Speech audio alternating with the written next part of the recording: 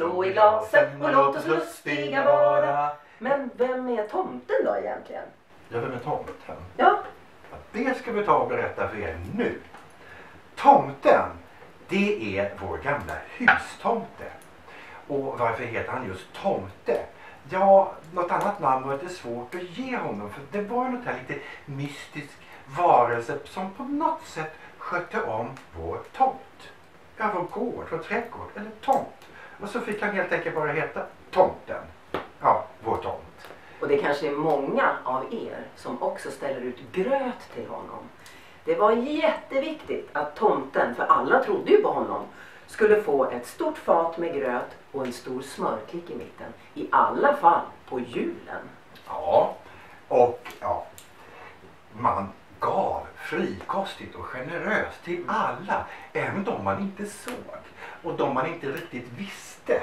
Man gav fåglarna mat och kossorna fick ju en extra skvätt brännvin på julen. Jag har alltså hört att mormors mormor har sett honom komma bakom knuten på laggården. Och hon berättade att han var ungefär så här lång och var alldeles rynkig i ansiktet som en gammal gubbe. Ja, oj. Ja, Han hade nog bara gråa kläder egentligen. Han kom där under den gamla ladan med huvan på. Gamla, gamla ladan, gamla, gamla ladan, gamla, gamla ladan, gamla, gamla ladan, kom under gamla ladan med huvan på.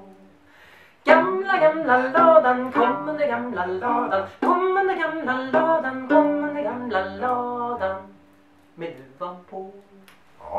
hustomte. Men hur gick det om man inte behandlade honom väl?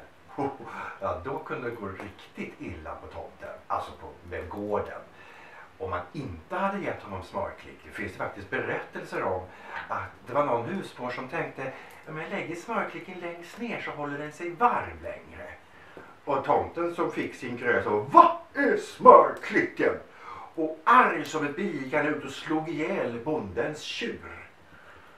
Ja, och sen så var han lite sur så käkade han upp det så såg han en smörklicka var där längst ner. Så, Oj hoppsan. Och nästa dag så kunde grannen undra vad tusan tog min tjur vägen? Ja, då hade han försökt rätta till det genom helt enkelt bara sno grannens tjur istället. Ja, det finns många berättelser om allt det här otyget som tomten också kunde ställa till.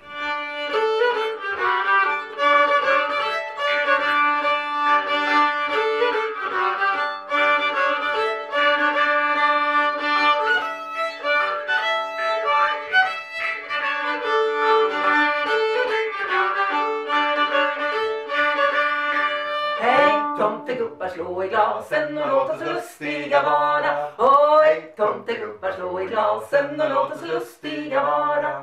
En liten tid vi leva här med mycket möda och stort besvär. Oj tomtegubbar slå i glasen och låt oss lustiga vara.